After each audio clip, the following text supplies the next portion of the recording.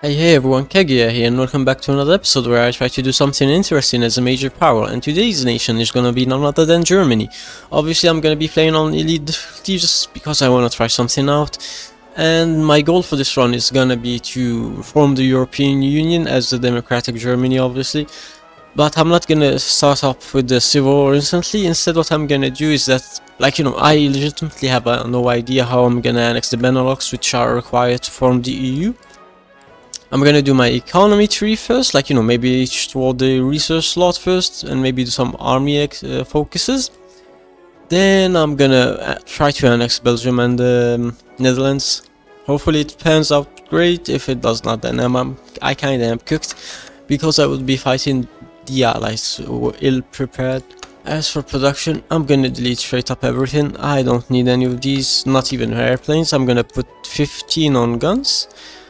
5 on support equipment and 5 on artillery and uh, I mean 3 yeah, and 3 on motorized for now. As you can see my 30% uh, research speed which hurts a lot but we can fix that by, by going down our electronic engineering tree.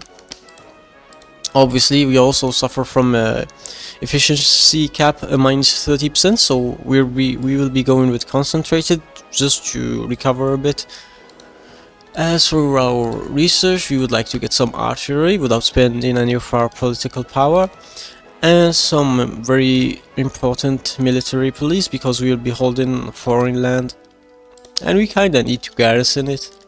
Also, apparently I forgot to tell you guys that I am also playing on non-historical to have a bit of a challenge, since usually when you play as a major power on non-historical, the majority of uh, the, like you know, major powers try to go into an alternative path and aim to, like you know, hamper you down. Okay, now that I have 150 political power, what I'm gonna do is that I'm gonna go toward the Dutch East Indies and justify on three of their provinces for 5% retention. And I'm gonna do the same for Belgium for 7 retention. If I'm not wrong as long as you are under 25% both the UK and France won't guarantee them. And with my next batch of political power what I'm gonna do is that I'm gonna hire a certain person you may be wondering who's that guy?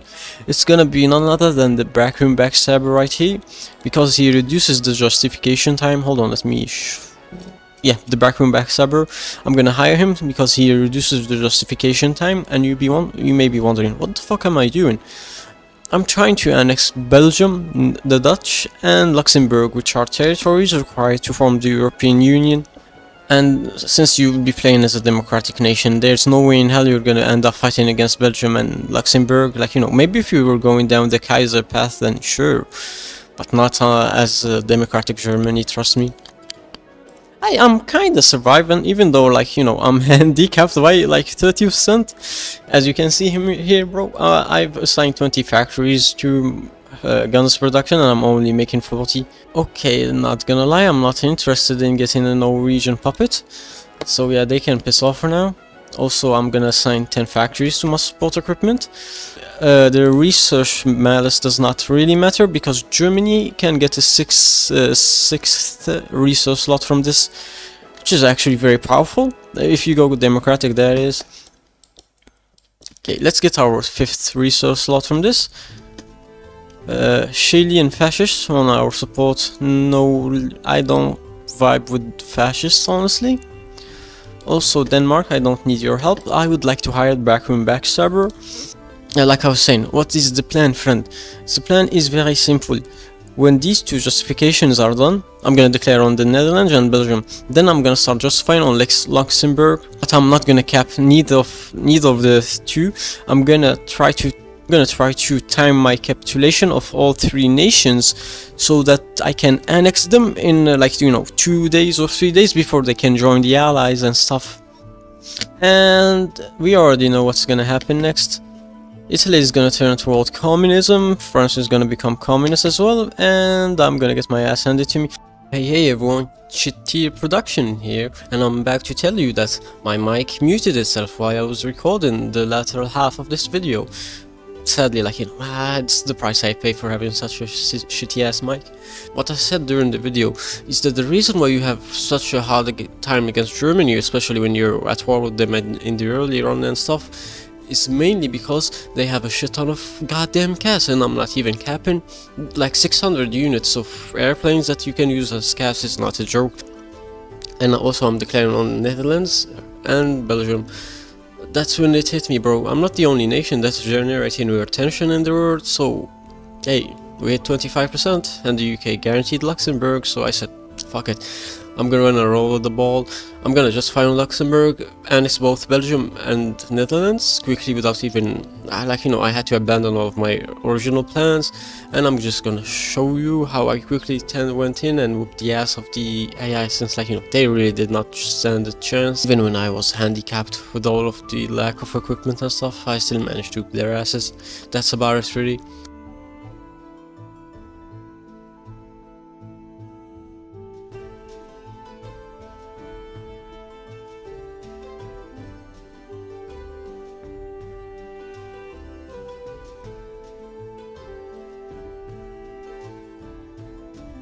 Uh, that's when it happened I needed to prepare myself to go to war against the United Kingdom, i.e. they were guaranteeing Luxembourg and I just planned my naval invasion into Hull.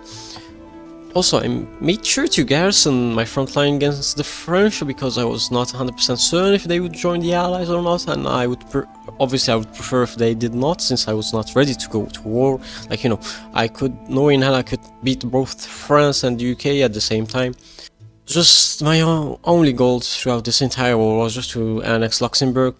That's that's about it. Later on in the peace deal, I would trade up just away to peace with the UK.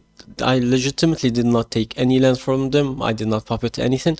I only released uh, Northern Ireland and gave it back to Ireland, obviously, and I I proceeded to prepare myself now to trigger my civil war. And as soon as it started I made sure to beeline toward the front with Czechoslovakia to cut them in half. I cleaned up the southern pocket in Bavaria and then I made the southern thrust toward whatever was left from eastern Germany. And uh, that's that's about it. I instantly made them capitulate. Apparently Chile decided to join in on the fun and join the Axis which is actually wild but I did not bother taking any land there because I had no ends no interest in South America. Though I did re-release that uh, baby in in that random island just for fun and for fun and giggles.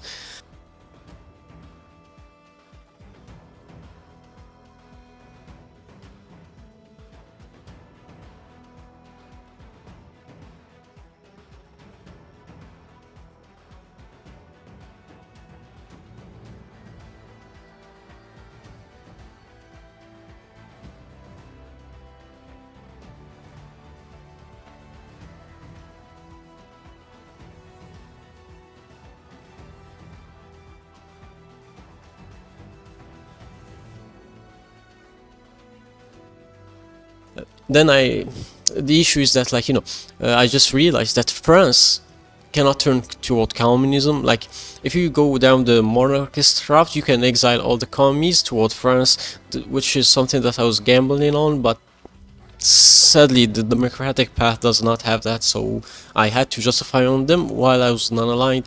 Went in, Captain, like, you know, pushing towards France after you have the Benelux is actually easy, even though I did not have full air superiority, it was more than enough, I had decent divisions, and I actually was prepared to rush toward their weaker fronts, and as soon as France fell, I made sure to beeline toward Denmark and take their whatever left was left of them before the peace deal triggered.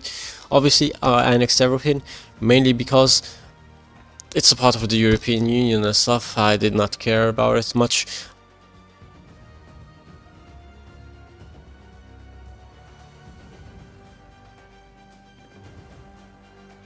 Then I went against Italy, uh, I justified on them before turning democratic by the way, it was like the last thing I did as a non-aligned nation.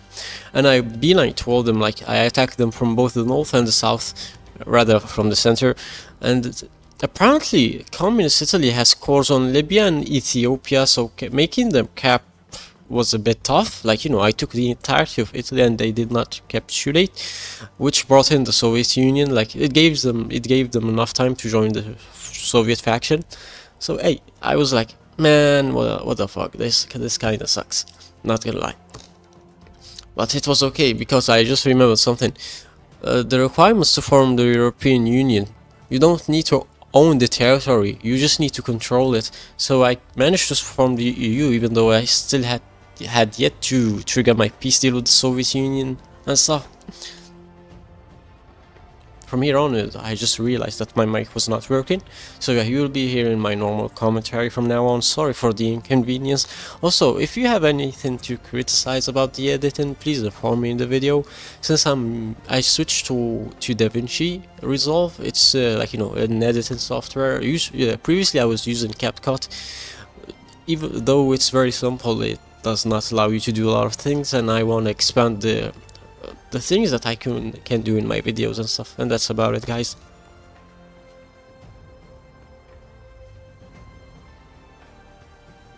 Poland the communist nation wants to join my faction. Okay welcome buddy. I'm not gonna say no. What was I yapping about anyways? Oh yeah I wanted to build a shit ton of goddamn mills for my glorious air force Hey man, it's kinda cringe, it's 1940 and I don't have a lot of fighters, only 2k man, I, I have fallen off. Okay, I guess it's about time that I went ham against the Soviet Union. So yeah, I'm gonna call in Poland and Romania, that's about it. I should have green bubbles any everywhere. Oh, let's go! Let's the front widened apparently because Poland invited them into my faction. So yeah man, I'm gonna take an advantage of that advantage of that and call him into the party if you catch my drift. Also, I currently am seeing an opportunity to create a small pocket that I'm gonna take advantage of. The United Kingdom in exerts influence in Greece, I don't care there bro. And we trapped a small amount of divisions in the center. What's the current war support of the Soviet Union? It's only 7 uh, like you know 70%. The Soviet Union lost 1.3 million men and I lost to them 600k. Hey, it is what it is. The Commonwealth of Socialist Republics rebirth. Huh? Oh, Okay, Poland, you do you. Apparently Poland has a war goal against themselves. And the run is almost over, so I don't even need to research anymore. Like, since I got my 6th research slot, I really did not need to care about it anymore. The Soviets are currently at 27% capitulation score, and as soon as I reach toward the, like, you know, past the Ural, the Soviets will cap.